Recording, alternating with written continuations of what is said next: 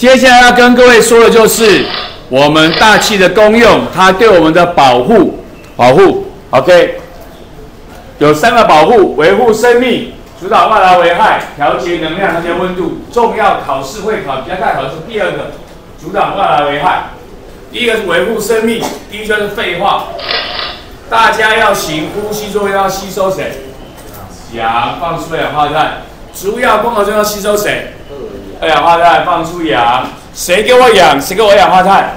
大气，所以大气提供我们维护生命所需要的氧气跟二氧化碳，所以他说维护生命，我们呼吸作用所需要的氧，光合作用所需要二氧化碳，都是大气给我们的，所以要维护生命。第二点是我以前教过的，我在讲水圈的时候讲过，世界上很多莫名其妙的地方。非常酸，非常碱，非常热，非常冷，压力非常大。你觉得不会有玩意活得下去的地方，我们都发现了生命的踪迹。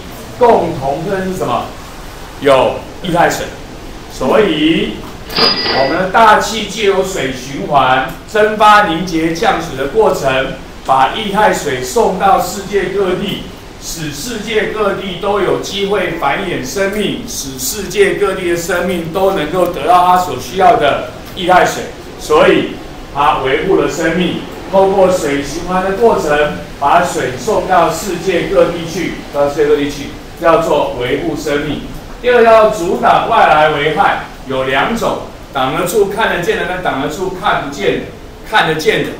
渣渣，好。宇宙中一些灰尘、渣渣、小颗粒，什么挖沟的，冲进大气，被跟大气摩擦，然后发光、发热、燃烧，叫做流星；烧不完扎到地上，叫做陨石。所以我说考试考过月球有没有流星？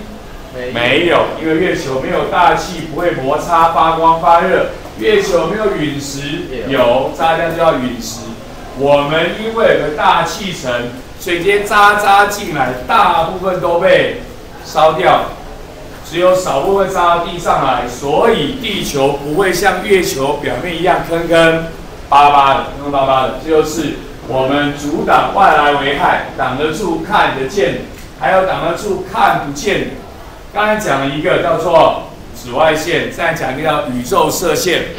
讲义的知识快递有写给你，宇宙射线大部分直指就是一些高速的、高速的带电粒子，它挡住这些高速带电粒子，那个在最上面的增温层以后会焦，被吸收掉，叫做挡得住，看不见，看不见，看不见，所以保护了我们，不让这些高能粒子来伤害我们，这叫做阻挡外来。危害。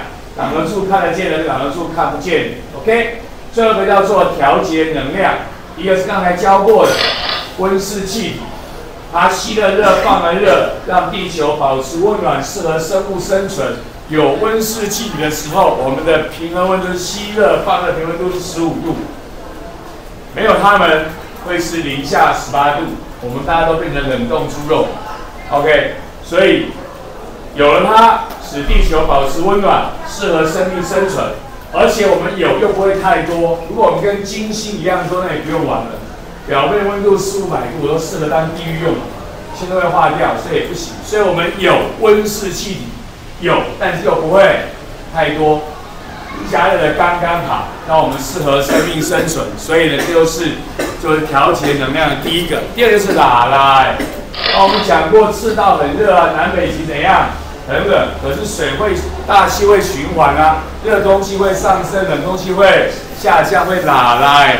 热的往冷的送，冷的往热的送，热的就不会太热，冷的就不会太冷，这样就是我们温差就不会太大。所以前面教过你，只要没有大气、没有水，温差就很大。月球没大气，温温差大；水星没大气，温差大；火星几乎没有大气，所以温差也大。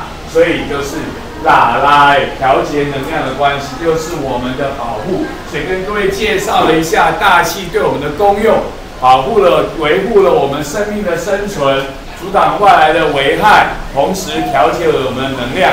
OK，无人无问题吧？无，很好。请课堂练习。